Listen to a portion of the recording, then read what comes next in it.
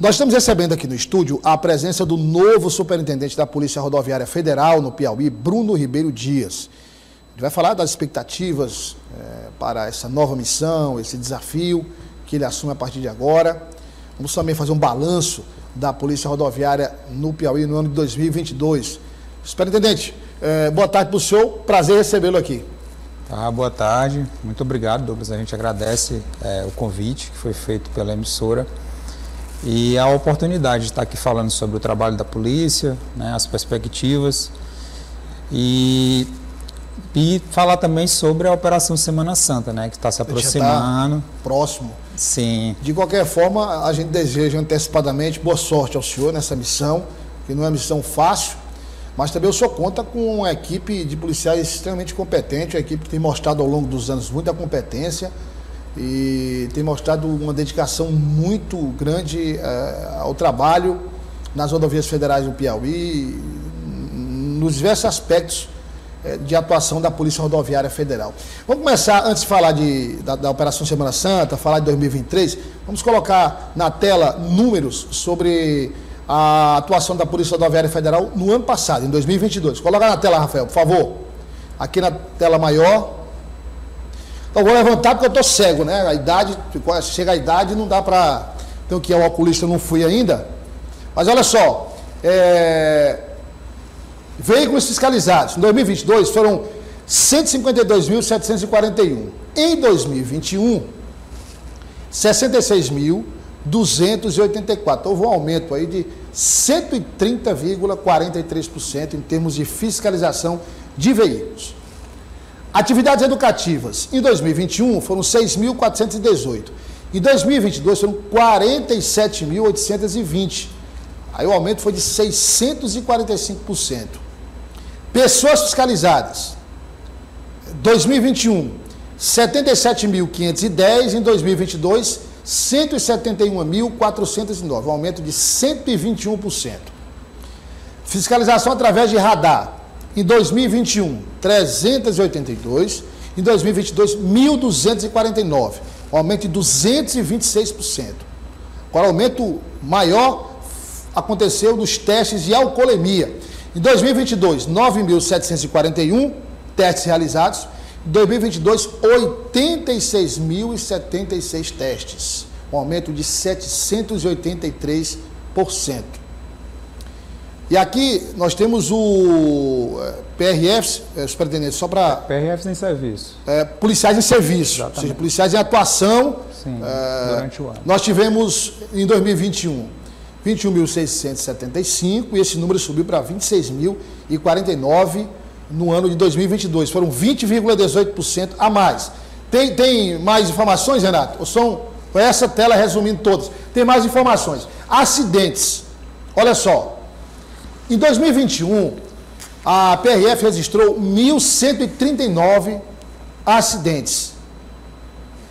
Já em 2022 foram 1.104, uma queda de 3,7%. Acidentes considerados graves foram 418 em 2021 e 458 em 2022, uma alta de 9,57%. Número de feridos, em 2021, 1.225 e em 2022, 1.244. Então, houve aí um aumento de 1,55%. E o número de pessoas que morreram em acidentes de trânsito, em 2021, 130, em 2022, 135 é, um acréscimo de 3,85%. Tem mais? Agora, o trabalho de fiscalização nas estradas em relação a entorpecentes. Aí, apreensão de maconha. Superintendente, essa cifra está em reais. É isso? Tá, Antonieta. Ou, ou, ou em, que, em toneladas? É, em, é, foram 1.061 é, 1.061 quilos, não é isso? Quilos, quilos. Então, em 2021, só de maconha, a Polícia Rodoviária Federal prendeu 1.061 quilos. Sim. Em 2022, 1.646, quase 1.647. Então, foi um aumento é, no número de é, apreensões de 55,2%. Apreensão de cocaína. Nós temos 2021 uh, 188,73 quilos Agora, olha o aumento para 2022. Mais de uma tonelada de cocaína apreendida no Piauí. Aumento de 431%. Êxtase, droga sintética, ah, foram apreendidas 14 em 2021 e até agora nenhuma, e nenhuma, aliás, em 2022. Né? Uma apreensão zero. Uhum. E no caso da droga conhecida como skunk, ou a super maconha, 2021 foram. Aí foi pouco, né? Uhum. Menos de. Quase nada em 2021. Né? Teve, teve 2 quilos e, uhum. e 45 gramas. Volta lá a tela anterior, por favor. 2 quilos e, e 45 gramas em 2022. O aumento aí é de 12% mais ou menos na apreensão de skunk. Agora vamos para outra tela. Nós falamos que esse é um balanço, é um balanço mesmo, todas as atuações. Armas de fogo, em 2021, 44 apreendidas. 2022, 66, aumentou 50%. Madeira ilegal, madeira sem documentação, sem é, guia de transporte. 2021, uh, 997 uh, quilos, não é isso, superintendente? Metros cúbicos. Metros cúbicos, né? De metros cúbicos. E esse número em 2022 foi de 482 metros cúbicos. Então houve uma queda de 51,54%. Munições, 2021, apreensão de 2.493 e 2022, 875, uma queda de 64%. Animais silvestres, a apreensão em 2021 foram 68, 2022 77. Então houve uma, um acréscimo de 13,24%. Agora aí nós vamos para cigarros. Cigarros aqui é quantidade Maço. de maços. 2021, olha a quantidade, 1 milhão 947 mil 518 maços de cigarro. 2022 houve uma queda, 1 milhão 535 mil 545, uma queda de 21,15%. E anfetaminas, a apreensão em 2021, 5.593 comprimidos, né? unidades. Unidade. E houve um aumento para 2022, 5.962, aumento de 6,6%. Fechou, Renato, aí? Não, agora vamos, vamos fechar com mais duas informações. Combate ao crime. Tem a pressão de ouro também, né? Uhum. 2022, nada, e 2020, 2021. E 2022, o 4,95 é quilos. quilos quase 5 quilos de ouro apreendido em 2022. E dinheiro apreendido, aqui é o, o, a quantia, né? Uhum. Uh, 2021, 428 mil 148 reais. Em 2022, uh, 106.657 reais. Uma queda de 75,09%. Está aí todos os dados de 2022 da Polícia Rodoviária uh, Federal. Superintendente, o senhor chega agora para comandar uh, a corporação no Piauí, mas são dados uh, extremamente positivos. Nós tivemos aí no caso de, de acidentes, é, algum aumento do número de mortes, é, algumas variações, sim, sim. mas não foram variações tão grandes. Sim. Então, no geral, percebe-se que os dados são extremamente positivos. Né? Sim, Douglas. É, quando você analisa esses números que você acabou de falar, cada um deles, é, a gente consegue entender mais ou menos como foi a dinâmica de 21 para 22. Né? Então, o que é que chama mais atenção? O incremento das fiscalizações. Você viu que teve um aumento muito grande, né? É, de, de 30 mil para 80 mil pessoas fiscalizadas, por exemplo.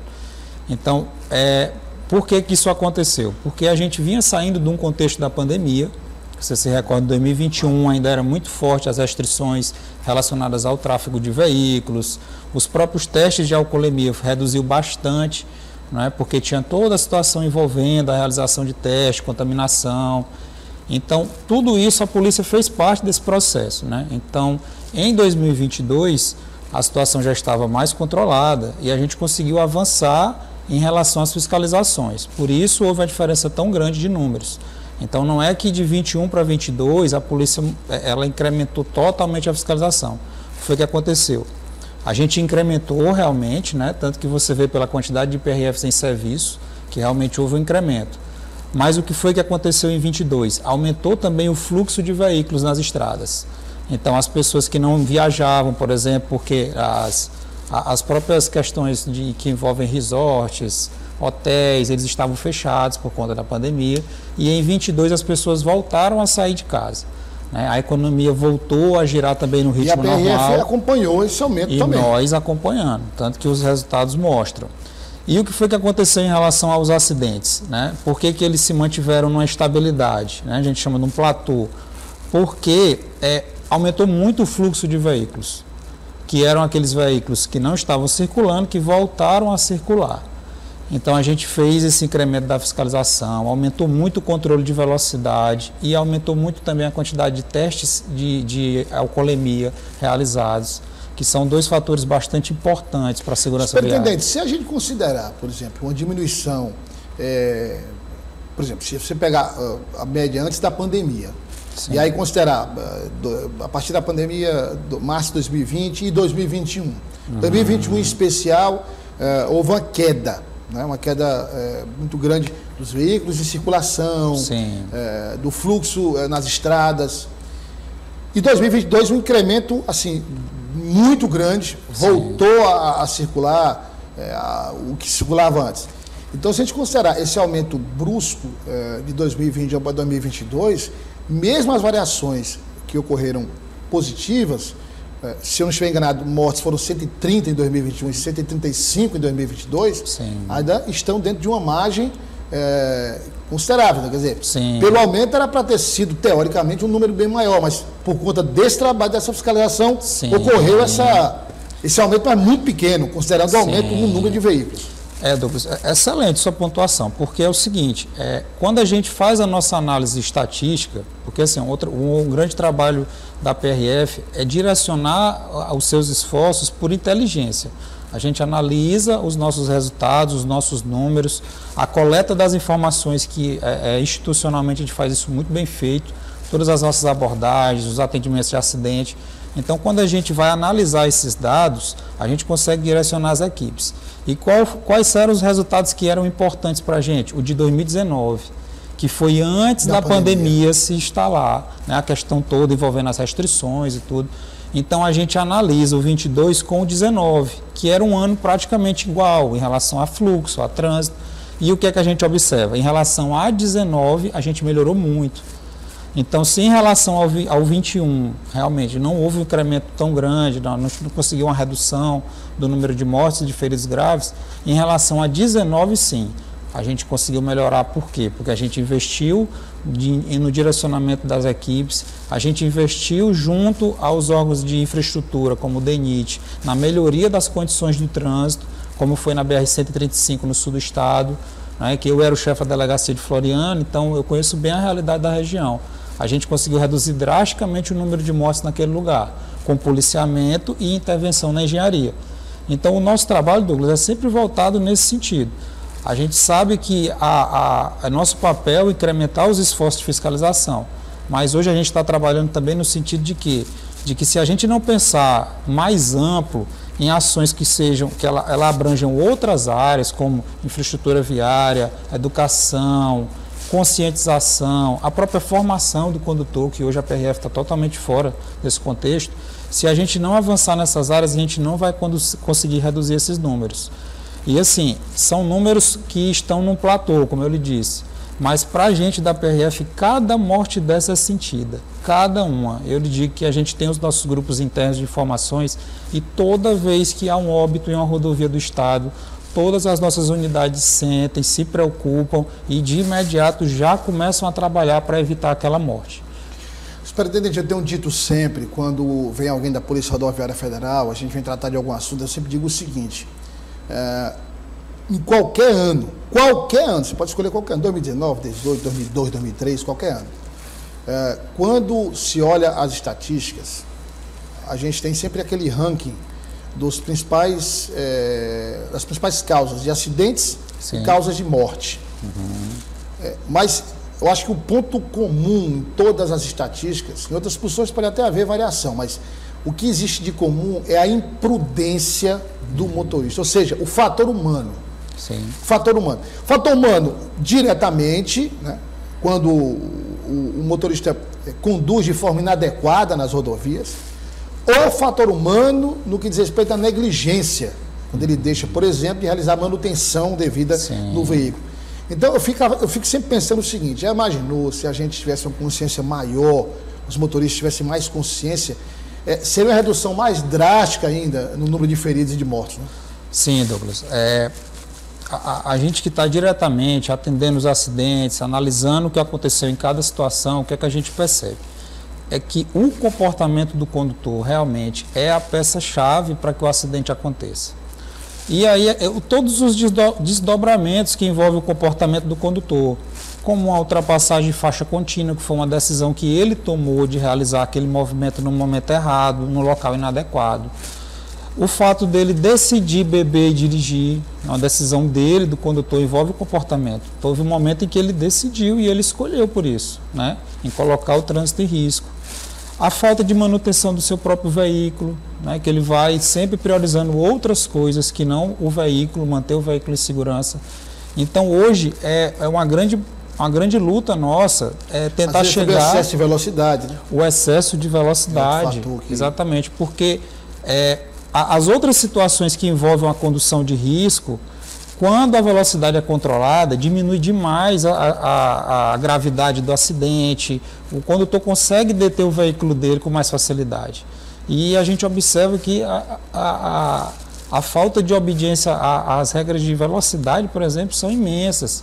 E o que acontecer com o carro de um obstáculo que há na rodovia, um buraco, dependendo da velocidade que ele esteja, ele não vai conseguir controlar o veículo. E desse período chuvoso, a, a, a situação das estradas muda, muda muito rápido, porque você passa hoje, tá, tá tudo bem ali num determinado trecho. Amanhã já tem um buraco, já tem um. Né? E, e há uma tendência nesse período chuvoso também dos animais saírem do matagal e ocuparem Sim. essa parte eh, da, da, da, das rodovias, ficarem próximos ali à rodovia.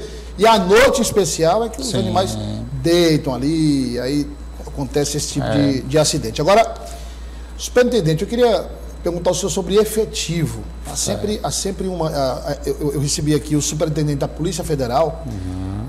e ele é, falava, ele também trouxe dados da Polícia Federal e falava do efetivo da Polícia Federal, que é o efetivo 200 e, é, 215, né, 220, eu acho, é, policiais, agentes, enfim, tem alguns estagiários. Ele disse, olha, é um efetivo pequeno, mas é um efetivo qualificado, mas é um efetivo pequeno. Uhum. E o da uhum. Polícia Rodoviária Federal? Certo. Hoje a situação de efetivo da Polícia Rodoviária Federal no Piauí é uma situação muito boa. Inclusive a gente tem o maior efetivo da nossa história. Né? A gente poderia ter mais gente, poderia, mas até a nível de instituição, a PRF já atingiu o limite de policiais que ela pode ter por lei. Então a gente tem que trabalhar com os policiais que nós temos. Nós recebemos no último sistema de remoção, no ano passado, em torno de 33 policiais que foram, eles chegaram na delegacia de Floriano e a gente já conseguiu remanejar para algumas unidades, né? Internamente a gente conseguiu fazer então, esse termo de efetivo, é, a, a Polícia Rodoviária do Piauí está é um porque, número considerável, né? Sim, é polícia, a gente sempre pensa né, em efetivo, mais efetivo, mais efetivo. Mas hoje a gente tem uma situação que é, é o que a gente consegue rodar a maneira ideal com mais efetivo, a gente ia ter que avançar mais na infraestrutura, na questão administrativa e tudo. Mas hoje a gente não tem esse problema em relação ao efetivo. A gente consegue fazer as nossas operações e consegue excelentes resultados com o efetivo. E aí eu repito o que o, o superintendente da Polícia Federal falou. É, e, e, eu aproveito aqui a oportunidade, porque às vezes as pessoas não têm conhecimento da instituição. O Piauí talvez seja um, um dos estados em que o efetivo da PRF é mais qualificado. Então nós temos policiais especialistas em diversas áreas. Né? O nosso canil, por exemplo, é um dos mais antigos do Brasil. Então a gente aqui no Piauí, é, a gente mantém uma estrutura que é compatível com a estrutura dos maiores estados do país, os estados mais ricos. Né? Então assim, hoje a gente tem uma excelente é, equipe e é por isso que a gente consegue os resultados que consegue a cada ano. Presidente, quando fala, a, a, gente fala Polícia Rodoviária Federal, aí vem na cabeça do telespectador e da telespectadora trânsito. Sim. Né, fiscalização de trânsito. Uh, obviamente, a Polícia Rodoviária tem muitas outras atribuições além do trânsito. Nós mostramos aqui, inclusive, nas estatísticas, mas eu queria me concentrar em algumas é, atribuições específicas. Sim. Por exemplo, a Polícia Rodoviária Federal faz parte da Força Integrada de Segurança Pública, com a Polícia Federal, Polícia Militar, Polícia Civil, Polícia Penal. O superintendente da Polícia Federal disse, inclusive, que é, a Força Integrada é, de Segurança Pública no Piauí é uma das mais eficientes do Brasil. Ele que já, andou, é, já passou, passou por outros estados e olhando os dados, ele disse, olha, esse trabalho da Polícia Federal, Polícia Rodoviária Federal é, e as Forças de Segurança do Estado é um dos mais eficientes do Brasil. Mas aí nós temos, por exemplo, pedofilia nas estradas é, é federais do Piauí. Aliás, é, é, é uma questão que diminuiu muito, porque a Polícia Rodoviária fez um trabalho você diz ali, exploração sexual, exploração né? sexual, de crianças né? e adolescentes. crianças e adolescentes. Foi um trabalho Sim. mesmo de saturação ali de.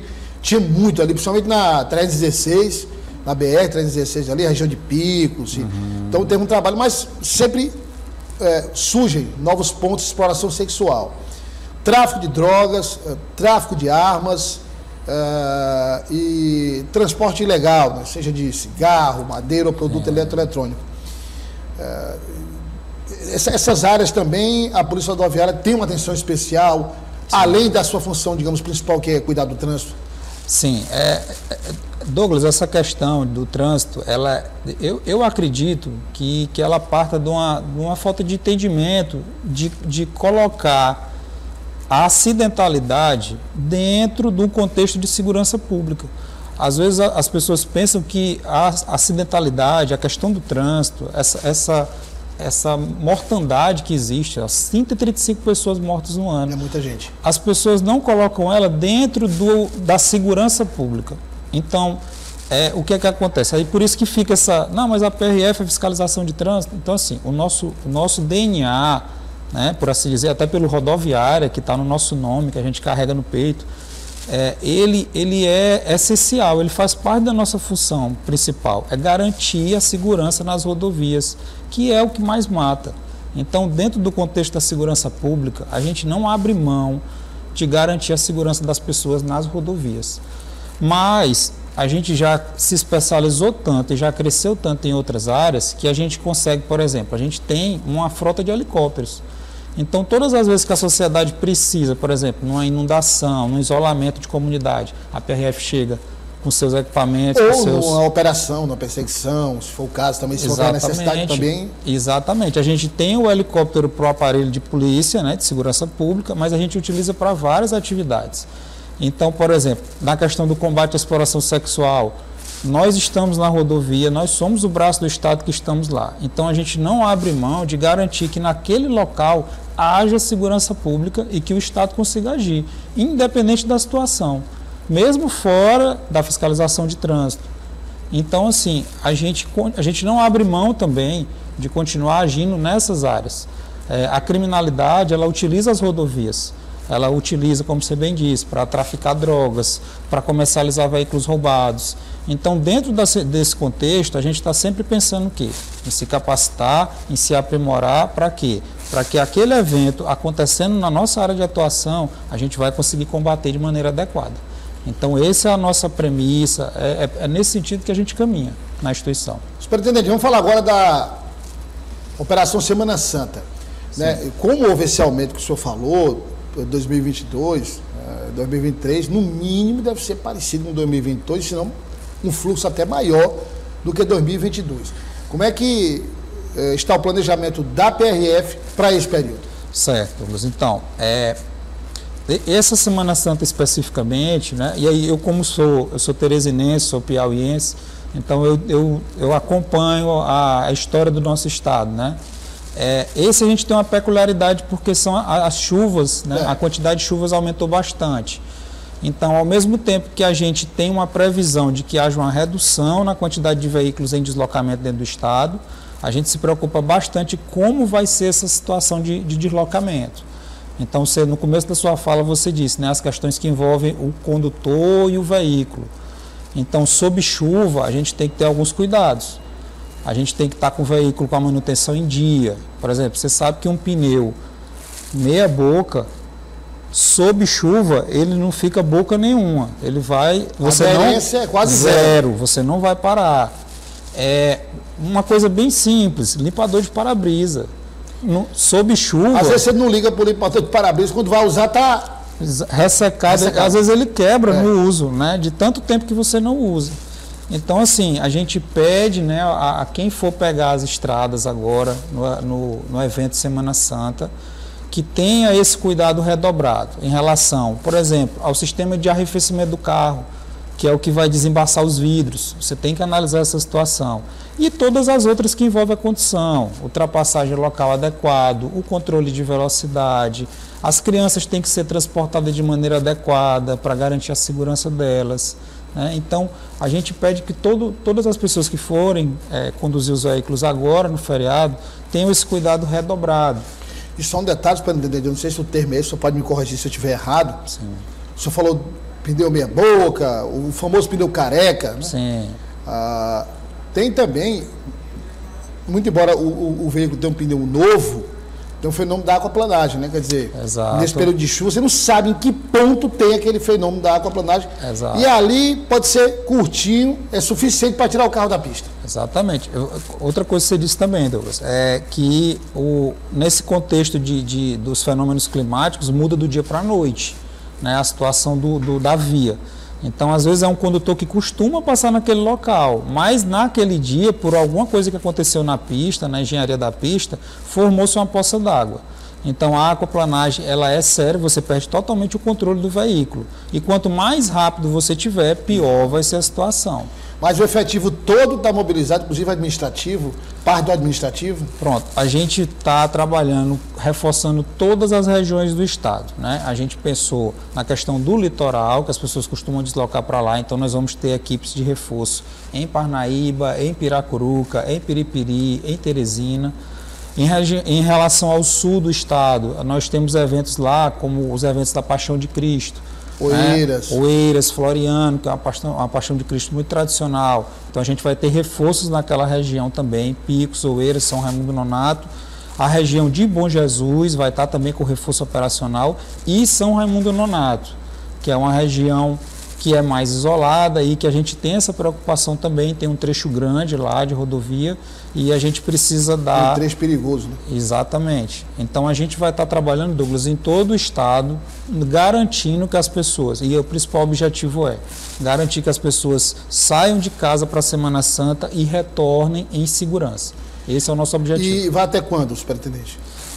A operação começa quinta-feira agora e começa vai até amanhã. amanhã e vai até domingo. Começa à meia-noite de hoje para amanhã, né? Quer dizer, ou de quinta para sexta.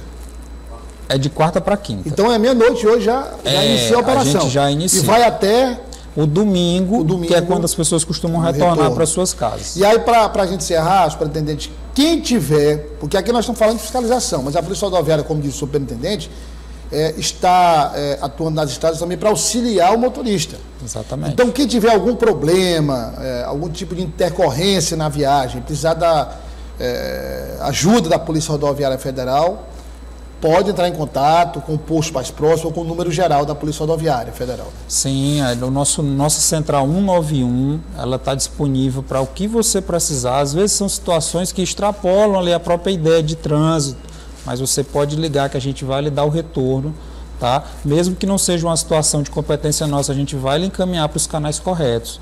Então é um número que você sempre pode contar. Temos as nossas redes sociais também, que você pode ter informações, né, uma comunicação direta conosco também. E a gente está à disposição, Douglas, da sociedade piauiense, das pessoas que utilizam. A gente sabe a importância das rodovias no Estado, principalmente as rodovias federais. Então a gente vai estar atento a essa situação e à disposição da sociedade piauiense.